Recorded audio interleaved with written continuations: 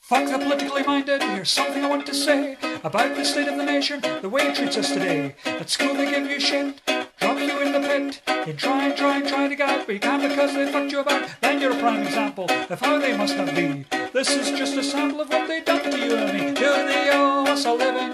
Course they do, course they do owe us a living. Course they do, course they do owe us a living. Course they fucking.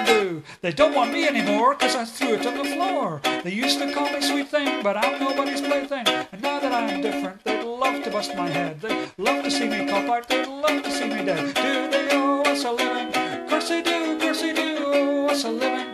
Course they do, course they do owe us a living. Course they fucking do. The living that is owed to me, I'm never going to get. They've buggered this old world up, up to the necks in debt. They'll give you a lobotomy for something you ain't done. They'll make you an epitome of everything that's wrong. Do they oh, owe us a living? Course they do, course they do oh, owe us a living. Course they do, course they do oh, owe us a living. Course they fucking do. Don't take any notice of what the public think. They're so hyped up with TV they just don't want to think. They'll use it as a target for demands and for advice. When you don't want to hear it, they'll say you're full of vice. Do they owe us a living?